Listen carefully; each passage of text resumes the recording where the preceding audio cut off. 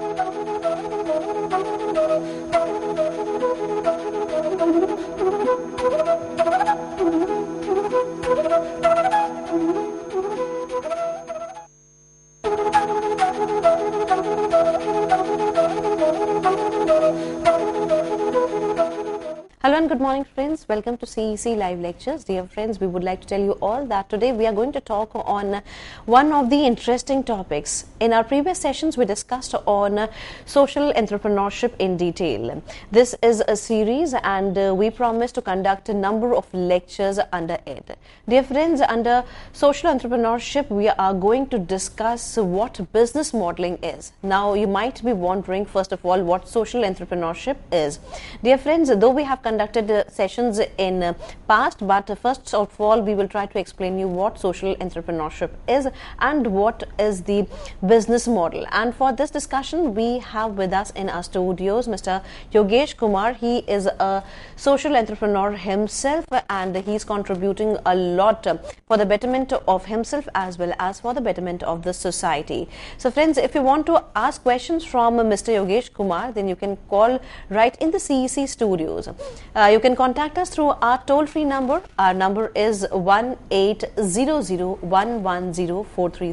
I repeat, our number is 1 430 You are requested to call in the last 10 minutes of the lecture so that First of all, you can have the deep insight into today's topic, and later on, yes, we promise to give answers to your questions. So, let's welcome our guest, Mr. Yogesh Kumar, and let's try to understand and have an in depth analysis and in depth knowledge on today's topic. Hello, Mr. Yogesh. Thank you. Uh, so, uh, the topic that we would be covering today is uh, business modeling, which is under social entrepreneurship series that we are doing. Before going forward, I would like to uh, just put highlight on the points that we discussed in the previous lecture, since uh, there's a lot of gap between the previous lecture that was conducted and uh, this one. So in the previous lecture, we uh, discussed about introduction to social entrepreneurship, what social entrepreneurship is.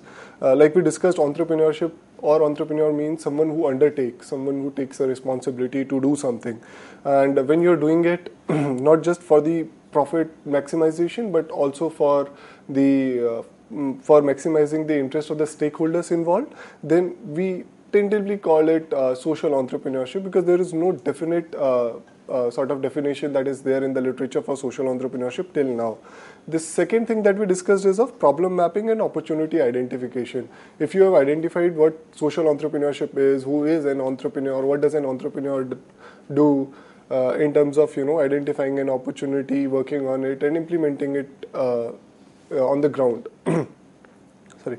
So, uh, problem mapping and opportunity identification session gives gave us insights about uh, how do we zero in on the problem that we would want to address or the opportunity that we see to build a business. So um, that was the second session about, and today we would discuss uh, on developing business model. So two things. First, we have already discussed the uh, entrepreneurship part. We have identified the problem mapping. Suppose I'll take a very uh, very normal and uh, very um, you know day to day example. Like if if you just want to uh, open a tea stall in in your college canteen maybe you feel that the tea that is being served is not um, not of good quality or you can sort of offer it in a uh, in a price range which is more affordable to students then that is the opportunity that you are identifying here. On the other hand side if you feel that uh, proper and adequate education is not provided to a particular section of the society the children coming from a particular section of the society and you start uh, after school maybe uh, catering to the needs of these uh, children, then you have identified a problem and then you are developing a solution around it. Now, how do we start developing a solution for the problem that we have identified? Uh, there are quite a few reasons and uh, not reasons but assumptions that we make while developing a business model. Why do we need to develop a business model? First of all, to put our thoughts on paper. That is very important. How do we how do we want to go about building that business? What is the market for that business? Who all are the stakeholders? Who's going to purchase your product or buy your product? Who's going to support you in different activities that you would be conducting? What is the cost structure of the organization? All these things needs to be considered before uh, sort of hitting the ground and actually running a business. Suppose uh, take an example of a, a Momo shop, which is uh, which obviously in metro cities at least you see on every street and corner. Uh, the person who is running the Momo business, what he does is uh, he calculates the amount that he needs to invest to run that business and the revenue that the business will be generating. So obviously he is running that business because he wants to earn some profit, and the margin is something that he looks for, and he always looks to maximize that margin. Obviously not compromising on the quality and uh, the uh, service that he is providing. So all those things needs to be discussed in detail uh, to understand what business modeling actually is. So we would be taking an example from uh, the book which is B- business model generation which is written by alexander osterwalder and yves Pigneur so in this book they have very uh, I mean, very comprehensively discussed about what business model is, and uh, they have developed a tool called Business Model Canvas, which is widely used by many organizations across the globe to to understand what business are they getting into and what is in it for them. So, uh, the authors describe uh, the business model as a business model describes the rationale of how an organization creates, delivers, and captures value. So you create something, you deliver, and how the value is sort of you know created, delivered, and captured in the whole system. I'll discuss it in detail later in the lecture. So this is how a business model canvas looks like. Uh, before going forward, I would request uh, people who uh, who obviously if you are watching it live you cannot do that. But uh, if you watch it later you can just pause it here take a printout of this paper and keep it with you and then resume the lecture. We would discuss each segment in detail so that you can understand what each segment and each section is all about. So there are nine building blocks in total starting from customer segment value proposition key activities key resources customer relationships channels key partners, cost structure, and revenue streams. I would talk in detail covering each of those, but it will only make sense if you already have this paper with you and a pen so that you can write down the idea that you would want to work on. And while uh, the lecture goes on, you can fill each block with the idea that you already have in mind and understand what we need to cater to or whom are we catering to so I'm uh, starting with the first segment, which is customer segment. So whenever we talk about customer segment, uh, the question that we ask is for whom are we creating value? Who are our most important customer? Obviously, every service that uh, that is uh, produced or every product that is uh, being you know brought in the market is done with a purpose in mind keeping a particular segment of customers in mind who would avail the services or who would consume the product. So in that sense, it is very important to understand for whom are you creating value or for whom are you creating that product. Uh, if we take example of uh, say consumer electronic brand, any any big brand, uh, they like for example Apple. Apple uh, create product for a particular section who have uh, sort of a definite buying needs, especially in, in Indian market. Their, products are high priced for a particular segment. So it is dependent on the amount of uh, money that you can spend to buy a product. On the other hand, the other Indian mobile manufacturer, they cater to the mass market. Largely people who can buy the product at, at, at an affordable price. So that's how you differentiate customer on the basis of price, and there there can be other uh, different segments that you can you know uh, understand and cater to while. Uh, while working on your product or your service. Before you start working on a product or service it is uh, very important to understand whom you want to cater. Suppose even if you like i took an example of a tea stall. Even if you are opening a tea stall in a university you need to know who your customers are majorly from where your revenue is going to come so, uh, the different groups of people or organization and enterprise aim to reach and serve is something that we say uh, the customer segment blocks covers. So, market can be of different type. Like I talked about the mass market. So, what mass market um, means is a market which is meant for the larger number of people as in it doesn't have a particular segment in place but a large number of uh, people who are kept in mind while designing the product or the services so consumer electronics like i took example of uh, uh, one company but there are 10 other companies like sony and other uh, laptops, mobile phones. You can take different examples and understand what mass market is because whenever they design product, it is for the masses.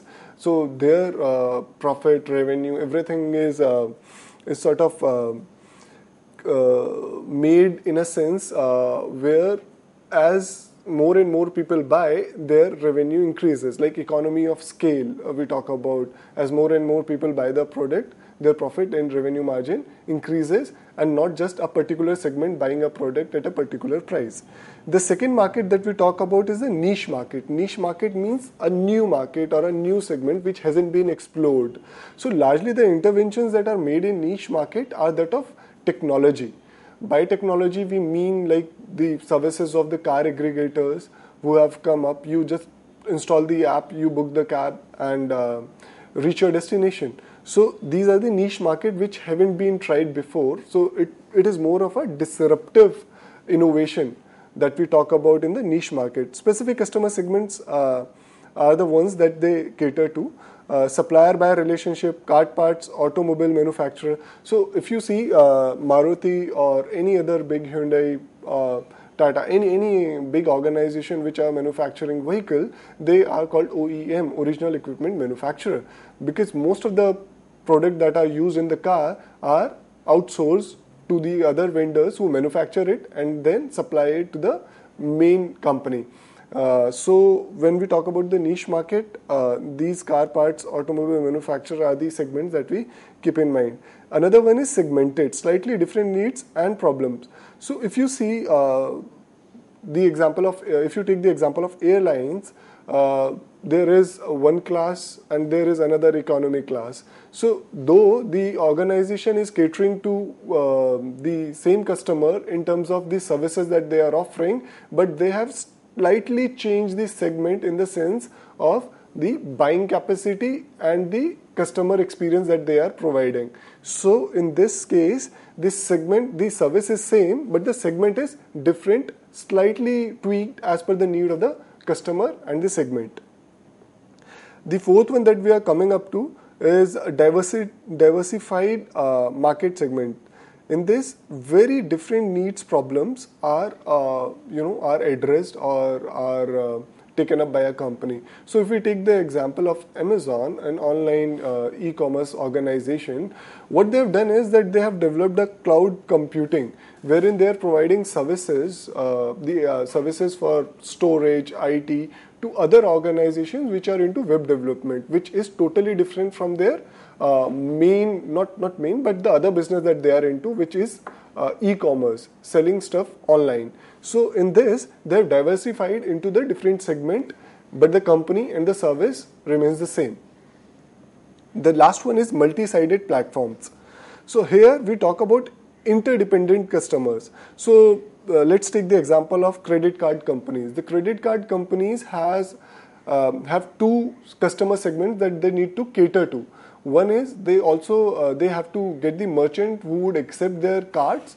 The second one they have to get the customers who would use their cards, and they both need to be brought together for the service to happen and that's how they make uh, revenues. The second example that we can take here is that of uh, free newspapers. So there are people, uh, there are organizations which uh, uh, sort of you know give away free newspaper. They would need to look for people who would consume news in a sense, and they they, they also would have to look for organization which would give advertisement in these newspaper. So that is the source of revenue for these organizations, and uh, that's how this multi-sided platform works.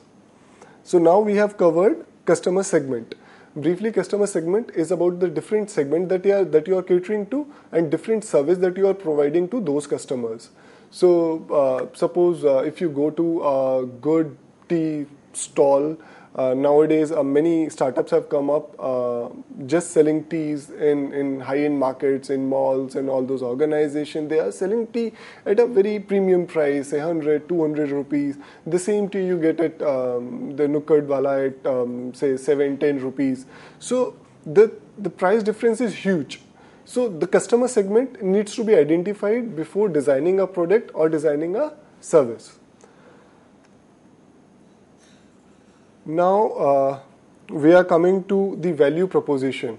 So if you have identified the customers that you would be catering to, you also have to understand or identify the value that you will be proposing because either the uh, service or the product can produce a new and innovative value which has not existed before or it can just add few uh, sort of you know uh, features in the existing service to differentiate itself from the current market taking an example of car aggregators again they have sort of introduced technology in a way which has disrupted market so this is a new value that they have proposed of timely service quality um, uh, assurance in terms of the vehicle that they are providing, the experience that they are providing, and easy to access.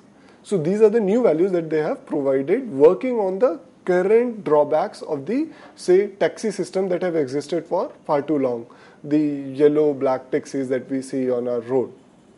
So either you create a new value, uh, a, a new dimension to the existing product, or you come up with an innovative solution where you uh, propose altogether a new product or a new service for the customers.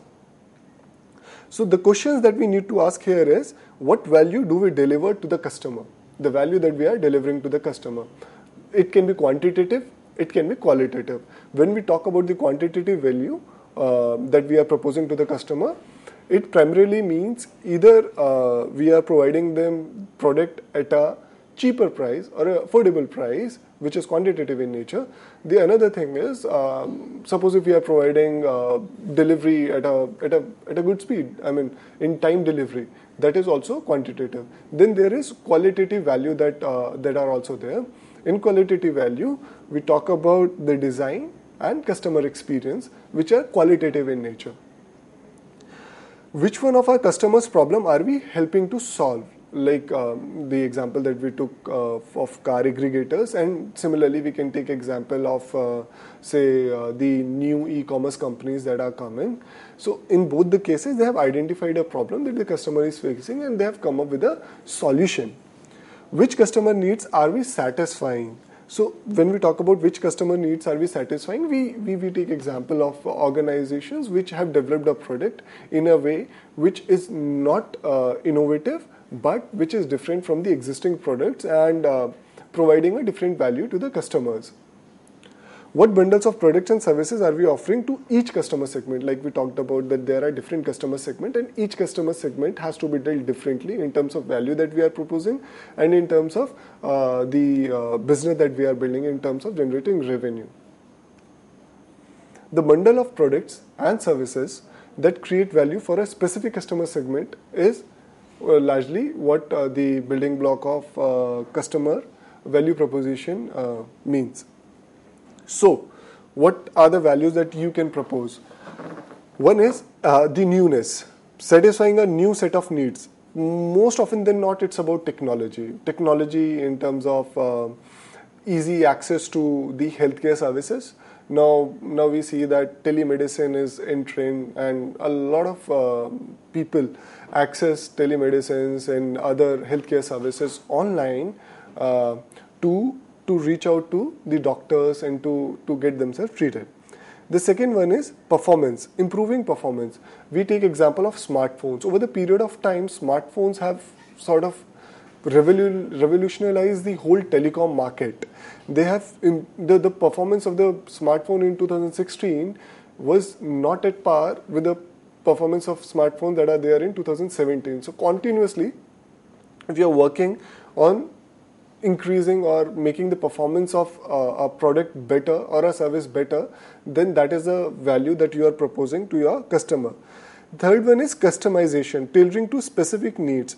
Uh, you must have seen there are a lot of organizations which have come up recently in the space of rental.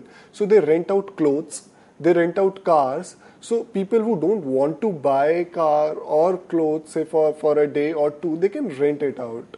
So they have customized the product and the service in a way which cater to a specific customer segment. The fourth one is design and brand status. So value in using brand. So like we take example of uh, the footwear brands, be it Nike, Puma, sportswear Adidas, any brand you take example of, majority of the organizations uh, that, that I just named uh, have built a brand for themselves. And people using their uh, products feel that they are using a branded product. When we talk about the design, we talk about uh, the fashion industry in a sense that that is the value that you propose. The different design that you have come up for an apparel is your value proposition for selling it.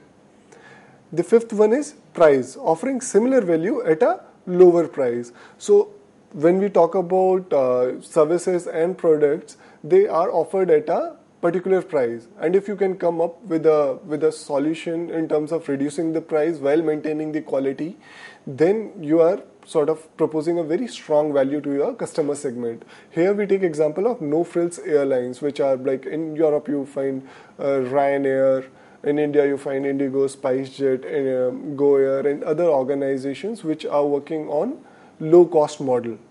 And uh, so, so the fare that they charge is not uh, similar to the one which are charged by conventional and traditionally uh, airlines industry, but uh, they offer uh, a very competitive price uh, with a good service.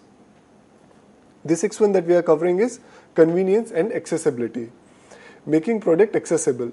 So uh, it, it, it, it'll be very interesting for you to know that there are organizations which have come up to to you know offer you jets on rent. So now you can sort of you know get a jet plane on rent and you can use it. So not not for an individual but largely for corporates and big organization.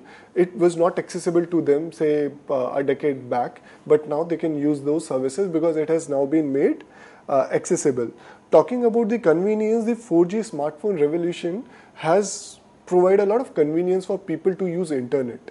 Now the rates, the prices of these smartphones have come come to all-time low maybe in the past five, six, seven years. Also, the prices of the telecom operators have uh, decreased drastically in a year or two, which has made it convenient for the people to use internet and uh, to get access to different uh, avenues on the internet. The last one is cost reduction and risk reduction, which is making it easy for customer to buy. Suppose you are buying a, a rented, uh, not rented, but a used uh, car. So what would you want to have? If the if the um, seller gives you a one year warranty or a guarantee on the used car, you would be more than happy to take that because it has considerably reduced your risk of owning that vehicle. So that is the value that you are proposing here. So these are the different values that we have talked about. You can find out which value suits your idea or where do you lie. I mean, in terms of the idea that you have come up, be it product or service, the value that you are proposing, there can be other dimensions also, but broadly these uh, six, seven points cover the large value that are being proposed by different organizations in the sector. So we have covered uh, customer segment and value proposition.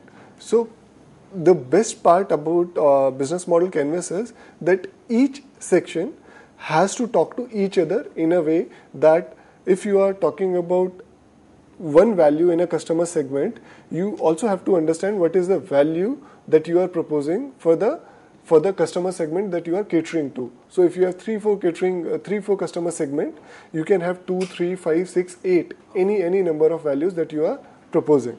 Now we would go on uh, the channels.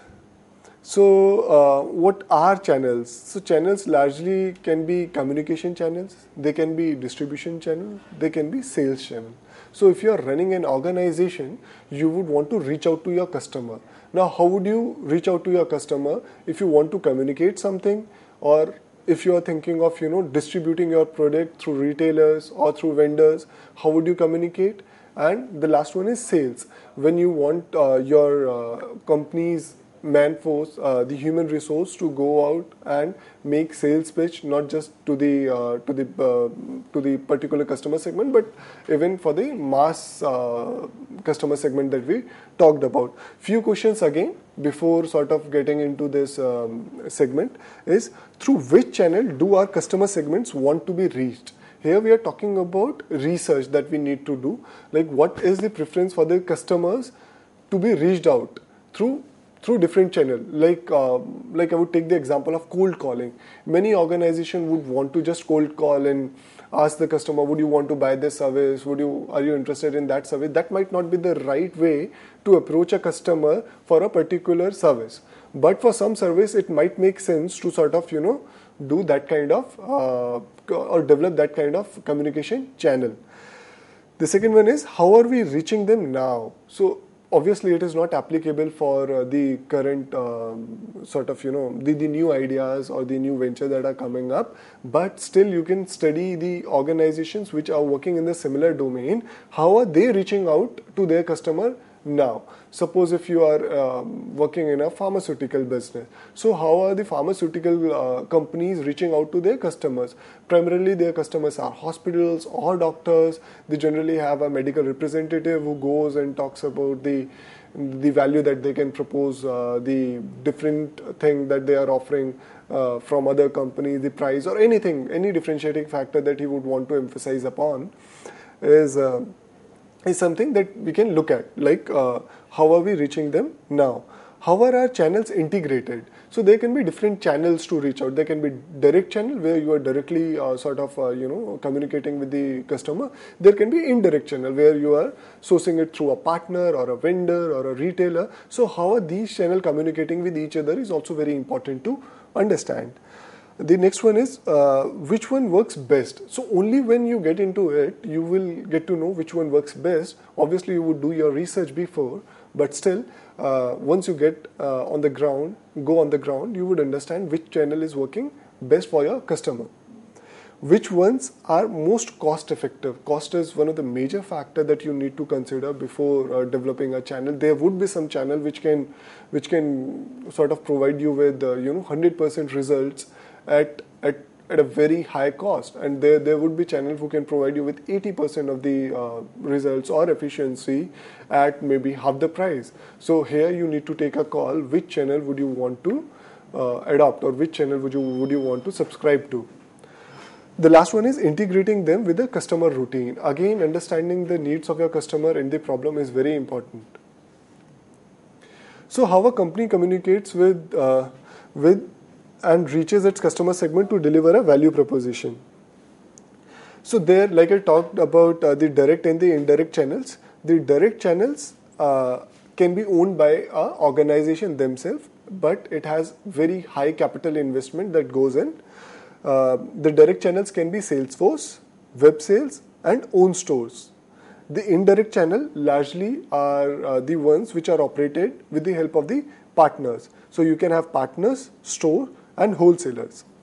like the organization uh, uh, in the in the e-commerce space or or in the retail space like uh, Amazon or Walmart would uh, go with the own direct channel, and the organizations which are into consumer electronics would would adopt both the channels, but largely the uh, partner one. So uh, there are uh, five phases. One is to build the awareness. How do we raise awareness about our company's products and services?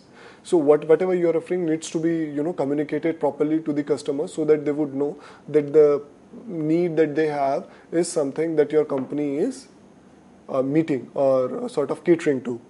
The second one is evaluation. How do we help customers evaluate our organization's value proposition. The first one is awareness. So the second one is evaluation, where we are looking to get feedback from the customer as to what is the perception of the company in the mind of the customer. The third one is purchase. How do we allow customers to purchase specific products and services? So you reach out to the customer, but you don't always convert the customer. So purchasing is when you are on the verge of converting the customer on or, or for what particular services is he willing to pay. Fourth one is how do we deliver a value proposition to a customer? So the customer knows that you are proposing this value. The customer knows that uh, you know this is uh, the offering uh, from your company which which can help him you know or sort of make him feel good using some product or the services. But how would you deliver that? Well, what are the channels that you would use for delivering? The last one is after sales. So after sales is how would you take care of the uh, customer uh, needs after you have uh, sort of you know uh, sold the product or uh, given the services, how the customer would interact with you, that is the after sales. So these are largely the five phases in which any channel would work. Uh, we would take a break here and then we would continue the session after a short break.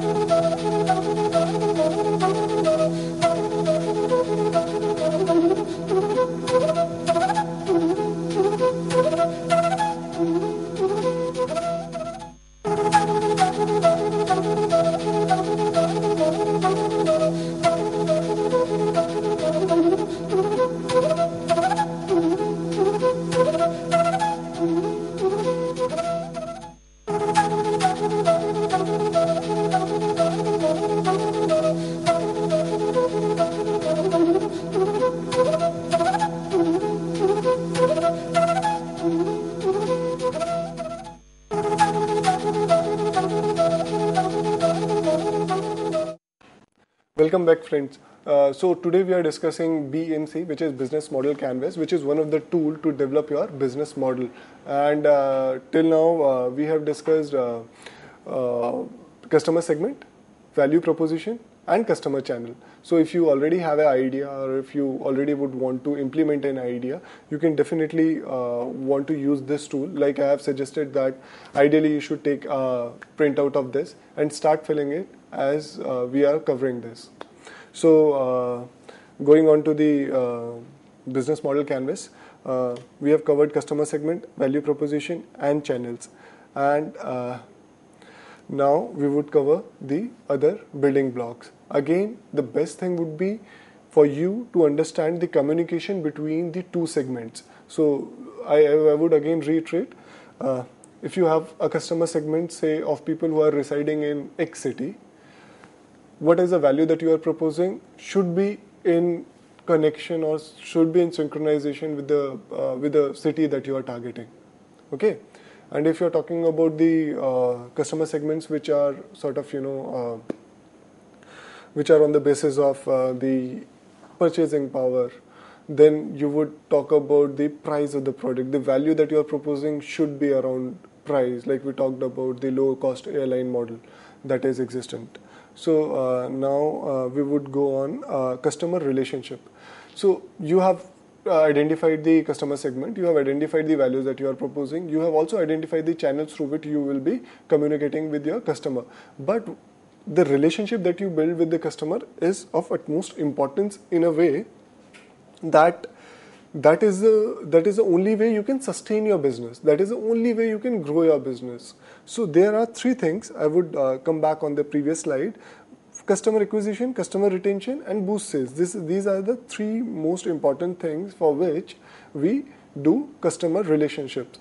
Again we'll go back on our asking question because asking questions is something that helps us understand the subject as well as uh, help us to build our perspective on the subject. So the question that we would want to ask before going into customer relationship is what type of relationship does each of our customer segment expect us to establish and maintain with them? So every uh, customer in a different segment would have different expectations from the organization's uh, offering as in, uh, suppose if you are going to buy a luxury car, a person who is buying a luxury car would want to approach in a different way than a person who is buying a low cost uh, entry level car. In a way that probably an entry level car customer would not inquire that much about. Uh, you know that much about the uh, design and the and the other features that the car has to offer because his main concern is price on the other hand, a luxury car uh, buyer might want to know, understand, and then rather experience the design and the new features that uh, the company has incorporated in the car, the new safety features or entertainment or anything for that matter for which he is willing to pay. So the most important thing is what type of relationship does each customer expects. That is important for us to understand. Which ones have we established? again starting with a new idea we haven't really established any relationship as of now but we can always take a cue from other organizations who are working in the similar domain and the way they have established customer with their uh, the relationship with their customers. How costly are they? Again cost is a very important factor whether we talk about channel or whether we talk about relationships. How are they integrate with the rest of our business model? Now the relationship part cannot exist in isolation how is relationship communicating with other building blocks of the canvas? So like we talked about uh, the type of relationship a company establishes with a specific customer segment is what we call customer relationship. It is done for customer acquisition which is to acquire more customers. Suppose if you are coming up with a new smartphone uh, you would want to uh, give a huge discount on it and uh, you would want to you know acquire as many customers as possible through online offline ads word of mouth. And now that you have sold a particular or a big number of uh, uh, handset already or you can take example of the recent uh, organization which has which has got into 4G so earlier they gave uh, free sim cards free services for for a year or two. So they the the strategy was to acquire customers now that they have acquired a lot of customers, their uh, now concern is the customer retention. How do you retain the customer? That is, how do you make the customer pay for the services that you have been offering, say for free or on discount? So it can be through newsletter, targeted promotions. These all things can be done to retain your customer. The last one is boost sales. So now that you already have a customer, now you would want to increase your sales from say previous month or previous financial year to this year by X percent or by Y percent, whatever. So in this case, you would give different incentives that if you would, suppose if you have um, got a car, then organization might give you incentive on uh, annual maintenance contract, a free annual maintenance contract, a free uh, service, or anything of that sort. Now that they have retained, or probably next time you would want to upgrade your car, you would want to uh, buy the car from the same manufacturer. So categories of customer relationship is like there can be personal and dedicated personal assistance, whereas you are you are giving personal um, attention to the customers also, uh, the relationship involves dedicating a customer representative specifically to an individual client. In this case, uh, the organizations which are selling, say, uh, high end products or the pri- products that are pricey or uh, on the high end of the market largely uh, uh, you know uh, sort of subscribe to uh, this kind of customer relationship where they would dedicate a representative specifically for a individual client the second one is self service. A company maintains no direct relationship with customers. In this case, the company uh, just provide a product on not just online but otherwise also. But there is no direct relationship with the customer in a sense that uh, suppose if I want to use uh, the web services of a particular organization which which, which is offering uh, sort of you know website building or anything of that sort. So I have got it made and now I'm using it. Obviously, I can get back to the customer, but there is no self service, as in nobody is personally assigned to me to take care of uh, the needs that, that might arise. I might have to sort it myself if some problem arises. The third one is automated service. It mixes a more sophisticated form of customer self service and automated processes. Like if you buy something, you get a mail uh, that thank you for buying this is this. Now, if, suppose if you are using services of a bank, you would get uh, a message or a mail stating that your balance is this, the amount is deducted, all those things which are automated services, which are person- personalized but are more technology driven in a sense. The last one is communities and co-creation. So this is a new thing that has come up of late, which is co-creation. Uh, I'll talk about the communities first. So a large number of organizations work towards building a community of customers. Like a big pharmaceutical company recently has uh, built a uh, customer segment where not customer segment but the customer community wherein the customer can interact with each other and can further increase further help in increasing the sales of the company. The second one is co-creation. Co-creation is suppose if you go on and go on uh, on an uh, e-commerce website, you buy a book. You would read reviews under that that this book was good, it was it wasn't you know comprehensive, blah blah blah. So all those things that are written are written by a customer himself or herself. So those things help you to co-create the experience for others as well as yourself. The next important thing is revenue streams. So again, we have covered customer segment, we have covered value proposition, we have covered uh, communication channels, and the last one that we have covered is customer relationship. Now we are going on to the revenue stream. So we have a product, we have a service, and now we are looking for the financial part of it or looking at the financial part of it. How are we going to generate the revenues? Again, we'll start with questions. For what value are our customers really willing to pay? Whenever you use a product or service, either you partially pay for the product or service, you pay fully, or you don't pay at all. Like a free newspaper, you're not paying anything at all. For um, for using um, the search engines like Google, you are not paying explicitly directly. So we need to understand for what value are our customers really willing to pay. The second one is for what do they currently pay. We need to understand what what what is the pattern. How are they paying? How much are they paying? So that we can decide on the price that we would want to keep uh, for our service or our product. How are they currently paying? Again, the same thing. How would they prefer to pay? Now, as you have seen in last year or two, uh, there is a change in trend. So the cash economy is now shifting to the digital economy.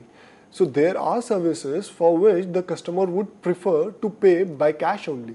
And there are services for which the customer would want to pay through through digital payment or online payment or anything of that sort. That is one way of distinguishing between the uh, the way in which the customer wants to pay, and we need to understand that for our service or the product and it's not limited to just online and digital it may be the place where he would want to pay it may be the uh, you know the stage of the service where he would want to pay.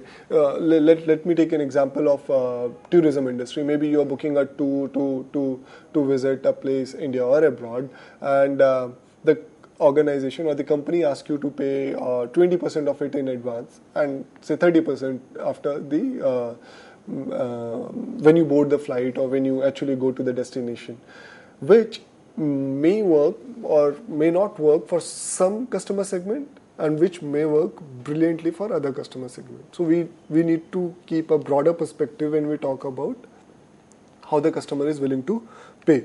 How much does each revenue stream contribute to overall revenue? Like as an if, if you have um, different products, different services, how much is your each uh, stream generating revenue? Uh, there, will be some streams which will be generating uh, surplus revenue. There will be streams which won't be delivering um, as expected. The cash a company generates from cash customer cost must be subtracted from revenues to create earning. So I'll talk about the different uh, ways in which uh, organization uh, generate revenue. One is asset sales, selling selling ownership right for a physical asset. Like if you are buying a laptop, the company has produced it and then given it to you to use it. So you have got the ownership right of uh, the laptop.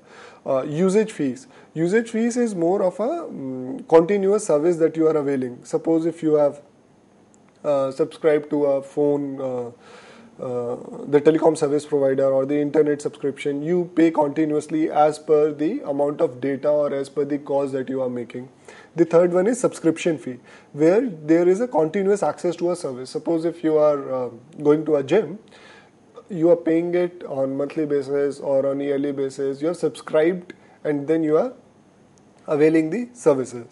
The, four, uh, the fourth one is renting so, like I took the example of car aggregator, they so you can rent out a car and you can go and visit wherever you want to, and you can pay for that particular uh, time that you have used the services or the product.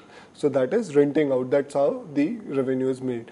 The last one is brokerage. So um, typical example of the real estate where if you are buying a flat or even getting it on rent, you you pay a brokerage.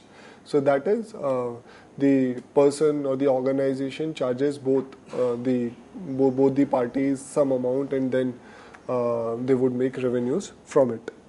So what is the pricing mechanism? I'll, I'll briefly talk on that and if uh, you have any confusion feel free to get back to me. Fixed menu pricing and dynamic pricing.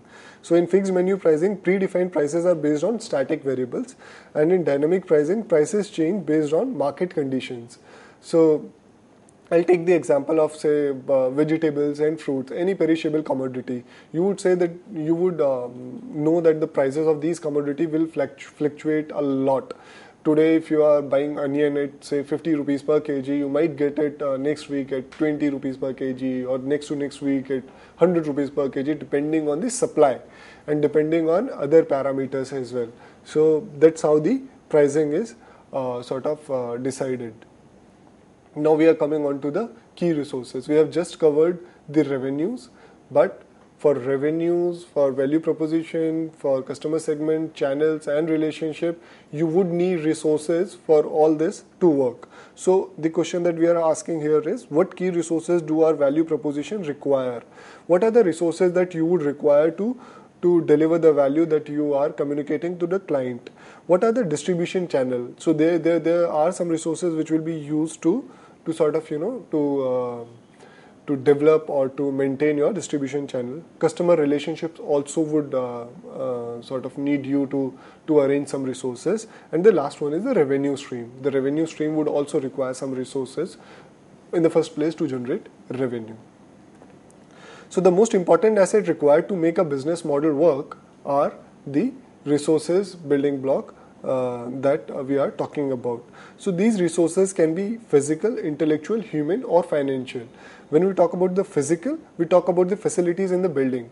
Uh, the likes of big organization, I took example of big e-commerce organization, they build their facilities and building to to sort of you know to generate revenues, customer relationship, to cater whatever we have discussed till now. The uh, second one is uh, intellectual.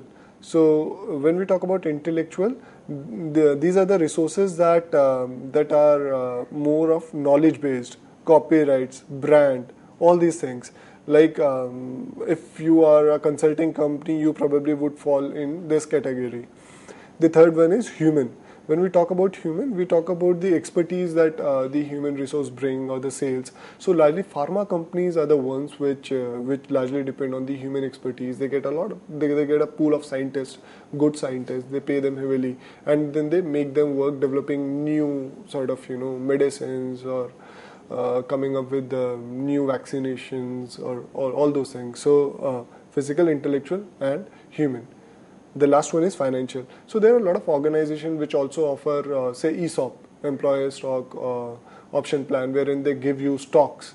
uh, which is the financial asset uh, when you join the company if they feel that you are the person or you you are someone who can you know help the company or the organization to grow so uh, financials are the uh, fourth form of the resources that any organization would need now we would come on to the key activities now that you have key resources you would need to perform key activities for all other things to happen like what key activities do our value proposition require the value that you are delivering, there would be key activities that you would need to perform.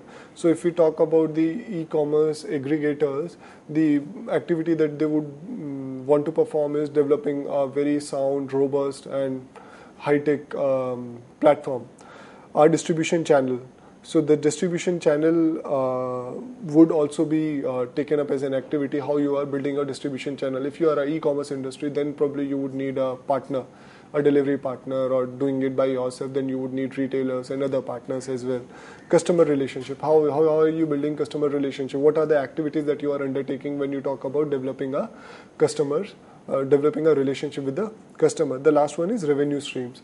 To generate revenue, also you would need to perform some activities. So the activities largely are of uh, three types. One is production the second one is problem solving and the last, last one is platform network. When we talk about production uh, most of the organization the product that you see around be it laptop or uh, watch or anything lights uh, they, these are these are more about designing making and delivering a product. So the activities that goes in designing making and delivering a product is uh, more of production in nature which is done by majority of the manufacturing firm uh, problem solving, like I took the example of consultancy organizations. Uh, so what they do is that they develop new solution, new tools, new techniques. They create new knowledge, and uh, the last one is platform network. Platform is a key resource here. So matchmaking, like you see, there are a lot of organizations, matrimony, online matrimony organizations. See, they, they, they, they develop a very comprehensive platform wherein they can, you know, make their uh, customers engage with each other. That's how they generate revenue. So there are different set of activities that every organization undertakes to generate revenue and for all other uh, you know uh, things to happen like uh, the identifying the customer segment and all those things now, if you are uh, doing these activities, you would also need partners. For this, the question that we are asking here is who are our key partners? So, before starting your organization, you would know that I would want to have partnership with XYZ organization. If I want to get into agriculture, I want to sort of make a farmer producer comp, or if I'm making a farmer producer company, I would want to sort of uh, you know get into touch with a lot of farmers and then make a partnership with them. I would also would want to make a partnership with a local authority who is dealing in in the local local space. I would also want to make a partnership with the with the government in terms of you know leveraging their schemes for farmers and the organizations which are working in agriculture sector. So uh, that is uh, the partnership part that we look for. Who are our key suppliers? So if you are manufacturing something and if you are providing some services there would be some manufacturer. Like we took example of the car manufacturer. So they sort of uh, get their product from from say say the nuts the bolts the the air conditioner the uh, the windshield seeds all are being provided by different vendors. So who are your suppliers if you are producing if you are uh, generating or producing your product? Which key resources are we acquiring from partners? So every partner would have a different role in role to play in the in the whole scheme of things. Which key activities do partners perform again we are looking for the partners to also perform few activities which can benefit the organization to smoothly run its operations or to come up with new services and new products. So, the network of suppliers and partners that make the business model work is what we call key partners.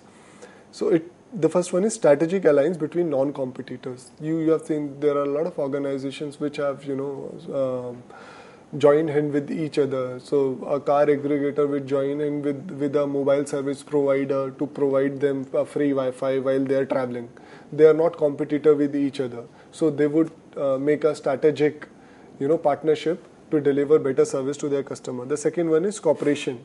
So co- competition. So generally we talk about competition, but here we are talking about coming together, the two, um, you know, competitors coming together and delivering a value together rather than, you know, uh, sort of uh, getting into competition from, from, from from the genesis of the product or the services. There have been a lot of examples where different organizations who are competitor in one segment have come together to work in in the other segment and produce a value. Joint ventures to develop new business. Uh, I would I would take the example of say uh, uh, scooter bike manufacturer, say Hero and Honda. So these two organizations have come together in the past to develop a new business, and they've developed a joint venture to sort of you know produce quality uh, products in the Indian market. There are other examples in different fields as well. The last one is buyer-supplier relationship to assure reliable supplies. So the buyer-supplier uh, relationship is also very uh, important in a way to to smoothly deliver the products that are being manufactured by a company. And the last part that we are covering in this uh, BMC, business model canvas, is of cost structure. What are the most important costs inherent in our business model? Which key resources are most expensive and which key activities are most expensive? So these are the questions that we broadly need to answer about the cost that uh, that our product will sort of incur in, in its developing phase or in distribution phase or while we are selling the product. All costs incur to operate a business model. It can be so there are two kind of models, which one is cost driven and another one is value driven. The cost driven models are those which are largely dependent on the cost. So if you have reduced the cost of the product or the service, uh, you have now got a large customer section uh, which are willing to subscribe your services. They will low cost airlines. Earlier we we didn't used to have uh, didn't used to have uh, these uh, low cost airlines in India, and uh, now we have a lot of them, and they are running successfully. Most of them. So the cost is very important factor. The another example is that of smartphone. You have reduced the cost. You have now you are now catering to the mass market. The second kind of cost modeling is a value driven model wherein the cost is not the primary concern of the customer if we talk about the luxury hotels cost is not the primary concern, but the service and the customer experiences. If we talk about the organizations which are building car in a high-end model, like the Rolls-Royce, uh, the uh, first and foremost important thing is that of experience that they are delivering to the customer and not the cost. And the cost structure can be fixed, variable, economies of scale, and economies of scope. When we talked about the fixed uh, cost structure, we talk about the fixed cost that the organization is incurring on month on month on month basis. Suppose if you are running uh, an organization, you have to pay the rent, you have to pay the salaries, you have to pay uh, for, for for the machinery and other things that that you are getting from time to time. Uh, though the cost of the machinery goes into capital expenditure, which is a different thing. Uh, the second cost that we talk about is the variable cost. If you are in manufacturing sector, you are producing things regularly. If you are producing laptops or mobile phones, you are producing as per the demand of the uh, market. So, uh, say in this month you have produced 100 uh, sets, the next month you are producing 200. So, the material that is used to produce 200 sets is now increased. So, the variable cost of the organization has increased. The third one is economies of scale. When we talk about economies of scale, uh, it largely means that whenever the customer base increases, the profit uh, of the organization increases and the cost decreases. Like uh, take the example of the wholesale market. If you want to buy a product, a single product, it would cost you maybe say X rupees. But if you want to buy 100 of them, the cost will be maybe X by 10 or X by 5 or X by 2. So the cost reduces drastically when the when the market increases, when the uh, demand increases.